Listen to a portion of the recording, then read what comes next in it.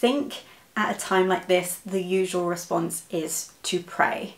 Pray for a miracle. And whilst ordinarily speaking, I am not of a religious nature, right now that seems very comforting. It seems silly to say this, but we need to look at the positives. Maybe this isn't the end, you know, people always talk about the afterlife and Okay, so the very idea of there being life after this poses a lot of existential questioning.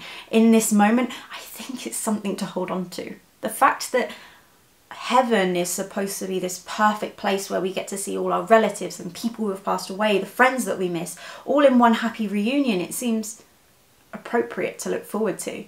But even simpler than that, think of the mundane that no longer exists commuting, the nine to five, deleting spam emails, waiting in long queues, the everyday questions of what am I going to wear tomorrow? What am I going to cook for dinner? Why someone hasn't messaged me back? It just no longer relevant.